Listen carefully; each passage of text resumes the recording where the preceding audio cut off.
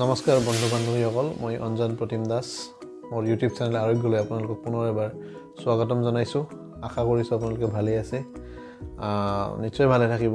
আমাৰ ভিডিঅ'সমূহ চাওক আৰু এই ভিডিঅ'সমূহৰ পৰা যিখিনি পাৰে উপদেশ মানক আৰু শৰীৰটো ভালে ৰাখক। শৰীৰ ভাল থাকিলে মন ভাল থাকিব মনত ৰাখিব।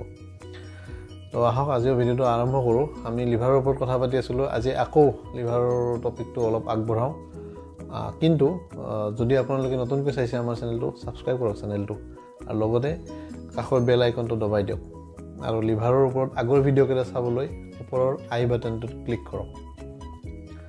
তো আজি আমি লৈ আহিছোঁ নতুন বিষয়টো সেইটো হৈছে জণ্ডিছ হয় প্ৰায়ে আমি সকলোৰে মুখত শুনি থকা এটা নাম এটা ৰোগৰ নাম জণ্ডিছ আহক ভিডিঅ'টো আৰম্ভ কৰোঁ।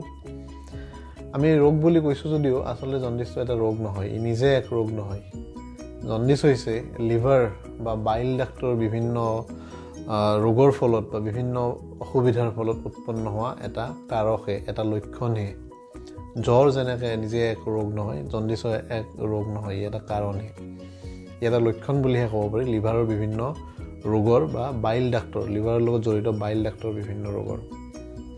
তো জণ্ডিছক আমি ডিফাইন কৰিব পাৰোঁ। জণ্ডিছৰ সংজ্ঞা হিচাপে আমি দিব গ'লে এনেকৈ দিব পাৰোঁ যে আমাৰ গাৰ ছাল চকুৰ বগা অংশ নখ বা আমাৰ বডি ফ্লুইড শৰীৰৰ যিবিলাক আমাৰ ওলাই যোৱা পানী তাৰ ৰং যদি হালধীয়া হয় বিভিন্ন কাৰণত তাকে আমি জণ্ডিছ বুলি ক'ব পাৰোঁ।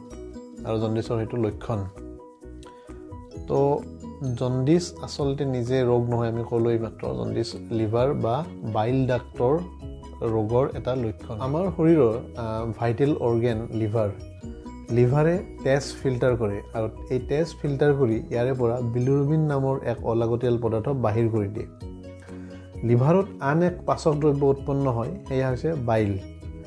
আৰু লিভাৰত ফিল্টাৰ হোৱা অলাগতিয়াল পদাৰ্থ বিলুৰুবিন এই বাইলৰ লগ লাগি শৰীৰৰ বাহিৰ ওলাই যায়।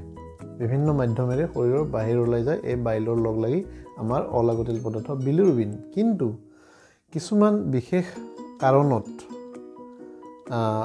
যেতিয়া বিলুৰুবিনৰ মাত্ৰা অধিক হৈ পৰে লাগ লগাতকৈ যেতিয়া প্ৰয়োজনতকৈ যেতিয়া বেছি হৈ পৰে বিলুৰুবিনৰ মাত্ৰা আমাৰ শৰীৰত তেতিয়া ই আশে পাশে থকা টিচুসমূহত সিঁচৰিত হৈ পৰে। আৰু যাৰ ফলত আমাৰ গাৰ বগা ছাল হালধীয়া হৈ পৰে নখ হালধীয়া হৈ পৰে বা চকুৰ বগা অংশ হালধীয়া হৈ পৰা দেখা যায়। যেতিয়া এই বিলুৰুবিনৰ পৰিমাণ আৰু বেছি হয় তেতিয়া আমাৰ প্ৰস্ৰাৱৰ জৰিয়তে বা ইউৰিনৰ জৰিয়তেও ই ওলাই যায় বাহিৰত। আৰু এই যিটো বিলুৰুবিনৰ মাত্ৰাটো অধিক হৈ পৰে ইয়াক হাইপাৰ বিলুৰুবিনেমিয়া বুলি কোৱা হয়। হাইপাৰ বিলুৰুবিন এতিয়া আমি আহোঁ কি কি কাৰণত আমাৰ শৰীৰত বিলুৰুবিনৰ পৰিমাণ বাঢ়ি যাব পাৰে বা ই জণ্ডিছ ৰূপে দেখা দিব পাৰে। তো প্ৰথম কাৰণটো হৈছে লিভাৰ। লিভাৰৰ বিভিন্ন অসুখ বিভিন্ন অসুখৰ ফলত বিলুৰুবিন আমাৰ শৰীৰত বৃদ্ধি পায় যাৰ ফলত আমাৰ শৰীৰৰ বিভিন্ন অংশ আমি আগতে কোৱাৰ দৰে হালধীয়া হৈ পৰে। ইয়াৰ ভিতৰত আমি ক'ব পাৰোঁ প্ৰথম হেপাটাইটিছ বি ৰোগ হেপাটাইটিছ চি ৰোগ বা ক্ৰনিক এলকহলিজিম যিয়ে অতি বেছি মদ খায়। তাৰ ফলত যেতিয়া লিভাৰৰ ফেটি হৈ পৰে যেতিয়া লিভাৰ ইনফ্লেম হয় তেতিয়াও আমাৰ শৰীৰত বিলুৰুবিনৰ পৰিমাণ বাঢ়ি যায়। এইটো প্ৰথম কাৰণ। গতিকে আমি লিভাৰটো ভালে ৰখাত অধিক গুৰুত্ব দিয়া উচিত। আমি সচেতন হ'ব লাগে যাতে লিভাৰটো ভালে থাকে। আমি কিছুমান খাদ্য পৰিহাৰ কৰিব লাগে। অধিক আমি আগতেও কৈছোঁ আগৰ ভিডিঅ'বোৰতো কৈছোঁ যে অধিক মচলাযুক্ত অধিক তেল যুক্ত খাদ্য আমি পৰিহাৰ কৰা উচিত। ফাষ্ট ফুড খাব নালাগে। মদ্যপান অতিকৈ বেয়া বস্তু অতি বেছি হাৰ্ম কৰে আমাৰ লিভাৰক মদ্যপানে। তো মদ্যপান কৰা আমি বাদ দিব লাগে। স্মকিং চিগাৰেট বা ধূম্ৰপানেও আমাৰ লিভাৰত এফেক্ট কৰে। তো প্ৰথম কাৰণ হিচাপে আমি লিভাৰৰ অসুখৰ অসুখটো ক'ব পাৰোঁ যে যাৰ ফলত বিলিৰুবিনৰ পৰিমাণ বাঢ়ে আৰু জণ্ডিছ হিচাপে ই দেখা দিয়ে। দ্বিতীয়তে ইনফ্লেমেশ্যন অফ বাইল ডাক্ট যদি বাইল ডাক্ট আমাৰ যিডাল থাকে য'ৰ পৰা বাইল আহে আমাৰ শৰীৰৰ বিভিন্ন অংশলৈ। তো সেই বাইল ডাক যদি কিবা কাৰণত ইনফ্লেম হৈ পৰে তেতিয়াও আমাৰ শৰীৰত বিলিৰুবিনৰ পৰিমাণ বাঢ়ি যায়। কাৰণ কি হয় বাইল ডাক যেতিয়া ইনফ্লেম হৈ পৰে তেতিয়া উচিত পৰিমাণৰ বাইল নিঃসৰণ নহয়। আৰু যদি বাইল নিঃসৰণ নহয় তেতিয়া বিলিৰুবিন শৰীৰৰ পৰা ওলাই যাব নোৱাৰে। কাৰণ আমি জানো যে বাইলৰ সহায়তে বিলিৰুবিনটো আমাৰ শৰীৰৰ বাহিৰ হৈ যায়। গতিকে যদি উচিত পৰিমাণৰ বাইল নাহে শৰীৰত তেতিয়া বিলিৰুবিনো ওলাই যাব নোৱাৰে আৰু ওলাই যাব নোৱাৰাৰ ফলত ই আমাৰ শৰীৰৰ টিচুসমূহত বিয়পি পৰে যাৰ ফলত জণ্ডিছ ৰূপে দেখা দিয়ে। তৃতীয়তে অবষ্ট্ৰাকশ্যন অফ বাইল দাগ যদি কিবা কাৰণত বাইল দাগডাল অবষ্ট্ৰাকশ্যন হৈ পৰে তেতিয়াও বিলিৰুবিন আমাৰ শৰীৰৰ পৰা উচিত পৰিমাণে ওলাই যাব নোৱাৰে আৰু যাৰ ফলত ই জণ্ডিছ হিচাপে দেখা দিয়ে। নেক্সট কাৰণ হিচাপে আমি ক'ব পাৰোঁ হিমোলাইটিক এনিমিয়া। যেতিয়া আমাৰ শৰীৰৰ ৰক্ত কণিকাসমূহ অধিক মাত্ৰাত ডেষ্ট্ৰ হৈ পৰে ভাঙি যায় বিভিন্ন কাৰণত হ'ব পাৰে এনিমিয়া। তো সেই এনিমিয়াৰ ফলত যদি আমাৰ শৰীৰৰ ৰক্ত কণিকা কমি যায় তেতিয়াও শৰীৰত বিলিৰুবিনৰ পৰিমাণটো বাঢ়ি যায় আৰু যাৰ ফলত আমাৰ জণ্ডিছ ৰূপে ই দেখা দিয়ে। ইয়াৰোপৰি আন এটা কাৰণ হিচাপে আমি ক'ব পাৰোঁ অলপমান এই কাৰণটো ৰেয়াৰ তথাপিও গিলবাৰ্টছ চিনড্ৰম গিলবাৰ্ট চিনড্ৰম এটা জেনেটিক কাৰণ এটা বংশগত কাৰণ। কিছুমান মানুহৰ বংশগতভাৱে জেনেটিকভাৱে এই গিলবাৰ্ট চিনড্ৰম দেখা দিয়ে। যাৰ ফলত শৰীৰৰ আমাৰ বিশেষ বিশেষ ধৰণৰ এনজাইমসমূহ উৎপন্ন নহয়। গিলবাৰ্ট চিনড্ৰম যাৰ থাকে যি লোকৰ গিলবাৰ্ট চিনড্ৰম থাকে তেওঁলোকৰ শৰীৰত বিভিন্ন ধৰণৰ পাচক ৰস উৎপন্ন নহয়। যাৰ ফলত শৰীৰত বিলিৰুবিনৰ পৰিমাণটো বাঢ়ি যায়। আৰু ই জণ্ডিছ হিচাপে দেখা দিয়ে। তাৰপিছত আমি ক'ব পাৰোঁ কলিষ্টেচিছৰ কথা। কলিষ্টেচিছ যেতিয়া হয় আমাৰ শৰীৰত তেতিয়া লিভাৰৰ পৰা বাইল উৎপন্ন হোৱা সম্পূৰ্ণ বন্ধ হৈ যায়। যাৰ ফলত বিলিৰুবিন আমাৰ শৰীৰত বৃদ্ধি পায়। তেতিয়াও শৰীৰত জণ্ডিছ হিচাপে ই দেখা দিয়ে। আমি আলোচনা কৰিলোঁ যে জণ্ডিছ কি কি কাৰণত হ'ব পাৰে।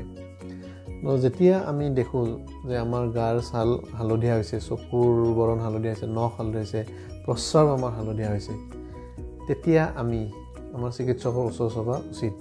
তেতিয়া চিকিৎসকে কিছুমান বিশেষ ধৰণৰ তেজৰ পৰীক্ষা কৰিবলৈ দিয়ে তেওঁলোকে এডভাইচ দিয়ে বিভিন্ন ধৰণৰ তেজৰ পৰীক্ষা কৰিবলৈ। তেতিয়া ওলাই পৰে যে আমাৰ শৰীৰৰ তেজত বিলিৰুবিনৰ পৰিমাণটো কিমান বাঢ়িছে আৰু ই জণ্ডিছ হিচাপে দেখা দিছে নে দিয়া নাই। লগতে কিছুমান আনুষংগিক লক্ষণো সৰু সুৰা দেখা দিব পাৰে যেনে পেটৰ বিষ বমি বমি ভাৱ খাব মন নোযোৱা বা গা দুৰ্বল লগা ভাগৰ লগা ইত্যাদি।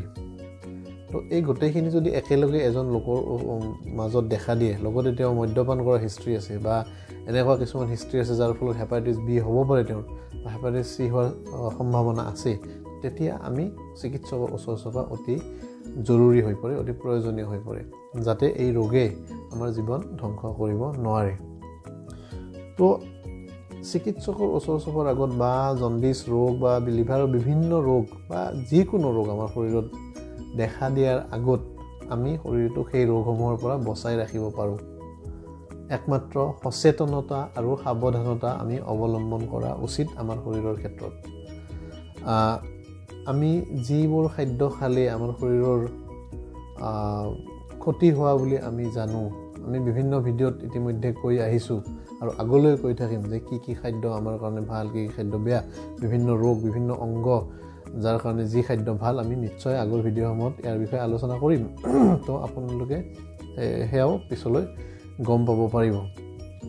তো আমি অলপ সচেতন হৈ পেলাই আমাৰ শৰীৰৰ কাৰণে যিবোৰ যিবোৰ খাদ্য ক্ষতিপূৰক সেইবোৰ খাদ্য আমি পৰিহাৰ কৰা উচিত। পৰিহাৰ কৰিলেই হ'ল।